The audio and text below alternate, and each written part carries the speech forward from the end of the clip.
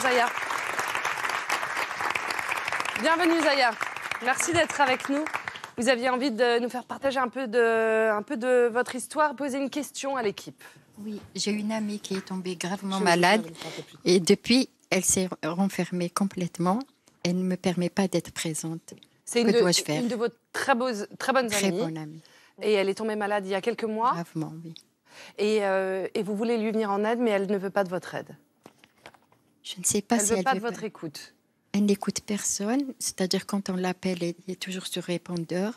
Elle répond rarement par SMS. C'était une personne très ouverte. Et elle est en train de se battre contre la maladie en ce moment. Mais elle fait de la radiothérapie. D'accord. Alors comment on fait dans ces cas-là? C'est vrai que c'est une situation euh, compliquée parce qu'on a envie toujours euh, d'aider euh, ceux qu'on aime. Par SMS, qu'est-ce qu'elle vous dit, Zaya? Parfois, elle parle un peu de sa maladie parce qu'elle fait de la radiothérapie loin de chez elle. Elle dit Je suis rentrée fatiguée. Parfois, elle me parle de ma vie. Elle me demande comment je vais. Parce que Ouais. je viens d'Alger, je suis juste en vacances ici. Et parfois, il n'y a pas de réponse. Parfois, il n'y a pas de réponse. Écoutez, je crois qu'il faut euh, entendre ce qu'elle vous dit, y compris ses silences. Parce que vous savez, euh, euh, cette maladie où finalement le pronostic vital est engagé, euh, c'est un choc pour la personne euh, qui le subit euh, et qu'il faut qu'elle puisse passer outre euh, ce moment du choc, qu'elle puisse arriver à le dépasser. Et je vais vous dire, elle a peut-être pas envie d'être vue comme ça, fatiguée, abattue. Alors, quand elle vous donne des nouvelles par SMS, je crois qu'il faut, il faut écouter. C'est-à-dire, je suis fatiguée, j'ai pas la force. J'ai pas la force. Et je sais que c'est difficile parce que, bien entendu, vous voudriez, comme vous dites, l'aider et qu'elle s'isole. Mais elle, elle a peut-être besoin de cet isolement pour se reconstruire. Quand on est malade, on a aussi une forme de pudeur qui fait que euh, on n'a pas envie que les autres nous voient dans cet état de fragilité, alors que, comme vous dites, vous avez connu, vous, une personne ouverte, donc vivante, et qu'elle traverse ce moment-là. Moi, ce que j'ai envie de vous conseiller, c'est de ne pas lâcher, c'est-à-dire de continuer à envoyer ces SMS en disant si tu as besoin de moi, si tu veux qu'on se voit, si tu veux que je passe, que je t'apporte quelque chose, je suis là, donc n'hésite pas. Mais surtout ne pas le faire sans son autorisation parce que sinon ça reviendrait à être intrusif, Mm.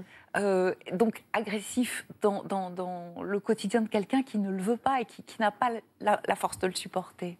Caroline. Quand ça arrive à des gens proches, parfois on se rend compte qu'ils se sentent agressés par notre envie de les rassurer, par leur envie de dire que on va pas leur dire bah oui, tu as une maladie grave, peut-être que tu vas mourir, donc forcément on trouve des mots qui essayent d'apaiser, mais ne t'inquiète pas, essaye de machin, et on est maladroit. Et parfois, en fait, ils n'ont plus envie d'écouter cette maladresse et ils ont envie d'être égoïstes à ce moment-là pour de bonnes raisons.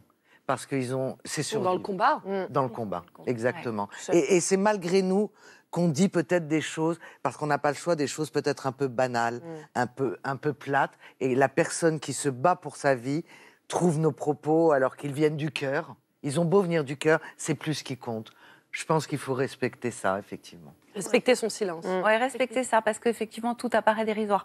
En même temps, quand elle vous parle de votre vie, ça veut dire que elle a besoin de l'extérieur. Donc il faut qu'elle sache que la vie continue d'exister. Voilà, qu'il y a cette vie, il y a le monde autour d'elle, que vous lui donniez des détails sur ce que vous faites pour lui donner envie de s'accrocher et de lui donner envie de se battre. Oui. Tout en lui disant que vous êtes là. Elle est- Que voilà, si elle vous êtes encore là. Voilà, elle peut vous voir, c'est elle qui décide. Êtes Justement, il y a un hasard aujourd'hui, pardon. Sa fille présente euh, son doctorat aujourd'hui. Ouais. Donc, on doit se voir. Elle, elle vient d'Aix-en-Provence. Comment je dois me comporter? Vis-à-vis d'elle, Oui. bah, la féliciter pour euh, sa fille, Ouais. lui dire à quel point euh, c'est un- une belle journée, Oui. euh, comme sa fille est belle, comme elle va bien en parler, comme voilà, c'est ça qui va la maintenir. On n'est pas Et obligé de parler ne sa maladie. pas de sa maladie parce que C'est elle qui choisit. elle se réduit pas à sa maladie. Oui. Merci. Merci à vous. Merci d'être venu.